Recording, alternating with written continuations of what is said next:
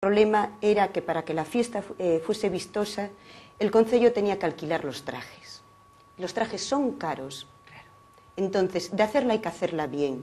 Entonces, es un proyecto que yo lo dejo ahí aparcado cara al año que viene, porque yo creo que Ferrol es la ciudad de la ilustración, es Claro. del siglo XVIII. Es que sería muy Sí, importante, ¿eh? pero este año por una cuestión económica. Yo parezco una ratita con el dinero, pero... Lo haces muy bien. pero- lo tenéis en cartera. Sí, sí, sí, sí. O sea, eso sí. también es otra de las Sí, cosas. Incluso, eh, y digo que me perdonen los ferrolanos y los turistas, a lo mejor, a lo mejor se podría hacer una pequeña fiera, fiesta de la ilustración, a ver cómo puedo hacer, pero no lo vistosa que yo quisiese. Algo simbólico. Sí. Si puedo, hago algo simbólico. Empezar por ahí. Por lo menos para empezar, Pero pensando germen, ¿no? que para el año, pues con unos buenos trajes, que incluso animar a la gente, que, Sí, sí, sí. de- que salga a la calle y que se vista, como pasa, por ejemplo, en Pontevedra. Eh, y en Pontevedra sale también todo el mundo. pasa Sí, que sí. se, dis- se, se disfrazan Sí, sí, disfrazan. de esto, pues claro. Sí, sí. Y entonces en julio, ¿qué tenemos, Susana? En julio, para que la gente abra boca, tenemos, me parece, Spinnaker, eh, pero eso ya No. es No, eso es la primera de Ah, agosto. Es O sea, agosto. que nos vamos a agosto, agosto. todo. Todo agosto. Y en julio hay algo. Es que siempre fue así en Ferrol. Ferrol- Las fiestas de Ferrol son en agosto. Claro, tienes razón, tienes Sí. razón. Eh, lo que tenemos en Ferrol, eh, mucha gente me comenta cómo se hizo una concejalía, aunque eso es una cuestión del alcalde, cómo se hizo una concejalía tan amplia. Mezclar cultura, deportes, turismo, así. Yo creo que todo es complementario. Sí. En el mes de julio lo que va a haber son muchísimas actividades deportivas. Bueno, de hecho, yo desde que estoy en el ayuntamiento, desde el día 13 que entré, no he parado con actividades deportivas por semana y fines de semana. Eh, nosotros queremos también promocionar un turismo activo, alternativo al turismo normal, de familias. Y pongo un ejemplo. El fin de semana pasado estuvo aquí en Ferrol, no sé, a lo mejor hay gente que no se enteró, una Copa del Rey, una Copa del Rey de triatlón. Tuvimos a Javier Gómez Noya, a, bueno, a atletas olímpicos, vino gente de toda España, vino gente de Ceuta, vinieron andaluces, gente de Canarias, del norte de España, de Cataluña, etcétera, etcétera. En total fueron mil deportistas, entre el triatlón del sábado y el acuatlón del... Es impresionante. Sí, sí. Hicimos una media. Si cada deportista eh, viene acompañado de unos vendrán de cinco, otros de dos personas, hicimos una media de tres personas. Entonces eso es buenísimo para la hostelería, para los hoteles. Entonces eh, lo que queremos fomentar en el mes de julio es este, de- este turismo activo, alternativo, que yo Bueno, creo pero- que complementa a las fiestas y a todo lo que puede haber en verano. Claro, es interesante, es interesantísimo. Y luego organizar también a lo mejor otro tipo de, bueno, ahora ya no porque ya está todo organizado. Sí. Entonces en principio era esto del teatrón y qué más cosas tenemos en, en- en- de deportes así en, ahora. en Tenemos dentro, creo que es el no, 19-20, el rally de Ferrol, que atrae a muchísima gente. que lleva muchísimos años. Muchísimos años. Muchísimos, porque ya es el decano. Es que en Creo Ferrol- que cuarenta y pico ¿Verdad? ediciones. Sí, sí, sí, sí, sí, sí, sí. Y sí. trae Tenem- mucha gente. tenemos dentro de unos días el Puntuable para la 35 campeonato de alterofilia también. O sea, son Este campeonatos. fin de semana tienes lo de gimnasia rítmica. Gimnasia rítmica, que empezó hoy. Así, sí, sí, hay muchísimas actividades. Hay eh, competiciones de kayak, hubo hace dos semanas un campeonato a nivel gallego que vinieron eh, de hípica, de saltos de caballo en la Camposa, vino gente de Portugal, vamos a repetir pero con más gente. El caballo atrae a muchísimas Muchísima personas gente, y vienen sí. familias, vienen familias enteras. Hubo hace poquito también el campeonato, hace dos semanas, campeonato gallego de esgrima.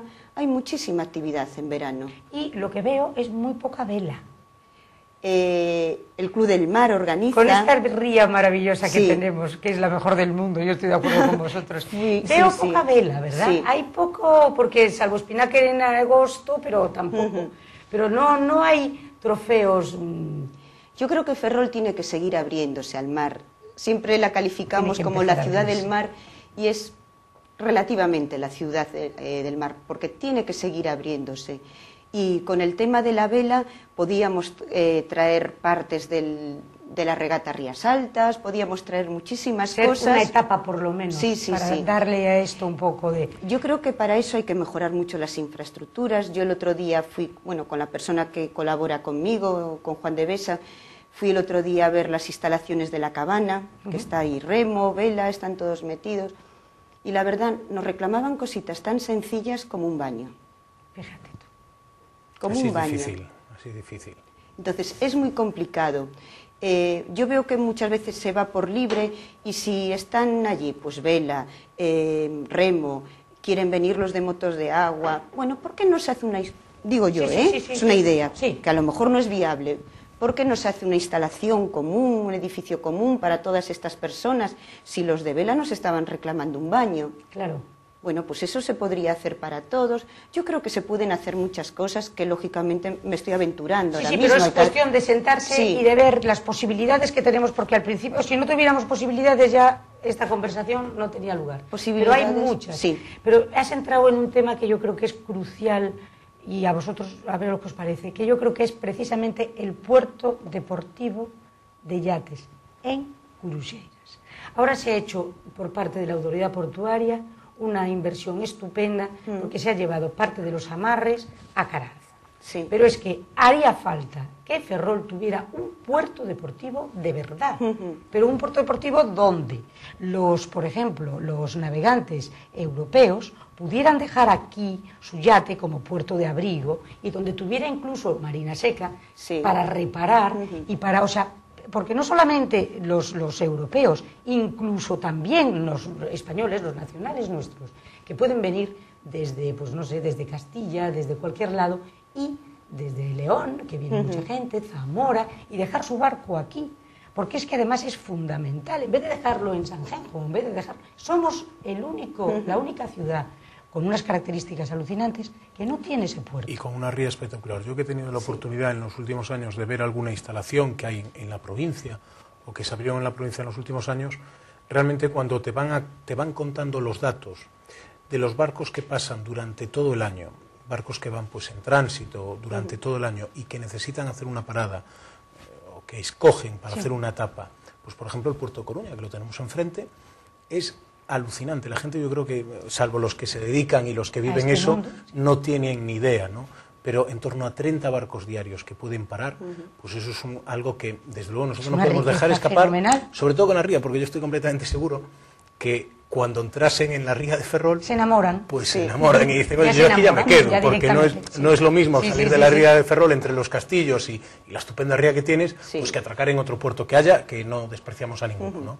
Pero entrar en esta ciudad por esta ría, pues la gente tendría que estar alucinada. Y es una pena porque es una de esas asignaturas pendientes que Susana decía que, que tendremos que afrontar en los próximos años, en colaboración con la autoridad portuaria que ya ha empezado Te iba a decir, es muy es fundamental la autoridad portuaria Sí, sí. y que esté en la misma sintonía. En este momento tenéis sintonía Junta y autoridad portuaria y ayuntamiento. Yo creo que aquí Eso es, es un- fundamental, es fundamental. que haya colaboración, porque eh, parece increíble, pero. a Pero tú veces- eso lo ves viable, Diego. Yo ¿Lo creo ves- que y lo sí. ves posible No, yo de creo- aquí a poco tiempo. Sí, sí, porque además eh, alguien puede decir, ah, pero es que eso es una cosa muy. Bueno, pueden tener la idea, ¿no? Decir, es una cosa muy selecta o que viene gente muy. tal". No, no. Pero si hay unas listas de espera tremendas para poder atracar la embarcación que puede tener cualquier Sí. vecino, tanto en, en, en Frente, en Mugardos, como en Ares, y que hay gente que lleva esperando por un punto de amarre mucho tiempo, muchos meses e incluso años. Años. Sí, sí. Pues hay que darles ese servicio, pues porque podemos, porque en Sada está saturado, aquello ya no, ya no se, ya no caben más, ¿no? Entonces tendríamos que hacer eso. Es verdad que eso conlleva una reordenación de los espacios portuarios, y, y tú lo decías, ¿no? Es necesario pues atraer no solo la embarcación de recreo que podamos tener, sino que paren algunos yates. Efectivamente. No queremos que vengan donasis, pero, pero sí tener un sitio eh, adaptado. Hombre, si O sí, viniera, tampoco pasa tampoco le íbamos a decir que no. Eso, eso- ya, ¿Qué quieres que te diga? Pero- lo mandamos a Puerto Carbonero. No hay problema, no hay problema. Claro, pero esos son los problemas, ¿no? Que realmente cuando, si alguien llega porque, pues porque tiene que entrar, porque el tiempo se ha puesto malo y tiene que entrar en la ría y busca un sitio, pues en el puerto seguro que le iban a hacer lo imposible porque estuviera a gusto. Pero dice, bueno, ¿y usted dónde se pone? Pues amarre aquí. dice, oiga, pero esa pila de ahí, eh, eso es carbón, ¿no? Sí, pero es que como haga algo de viento, me va a poner el barco negro. Sí. Y de- pues esas son las cosas que con la autoridad portuaria Hombre, tenemos que aquí acabar de- re- reclamábamos un poco en, una- en otro programa el tema del puerto carbonero, ¿no? Y entonces a mí lo que me dijeron es, es que mira, el puerto carbonero tiene en este momento un calado prodigioso. Al tener un calado tan impresionante, entonces hay que aprovecharlo para otros tráficos, porque sería una pena perderlo para la cuestión del atraque. Pero el Curuxeiras vacío, eh, una vez con- llevando